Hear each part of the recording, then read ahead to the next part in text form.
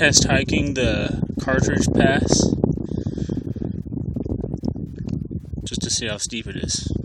How steep is it? Mm.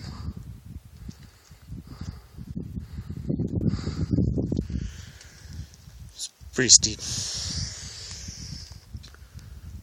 This is Lake Basin.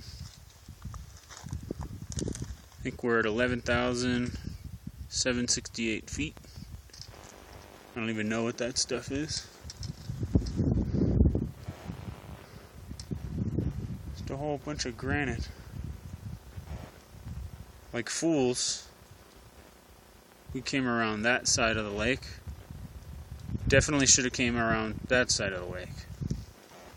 Probably took about the same time, only it was about 100 times more dangerous.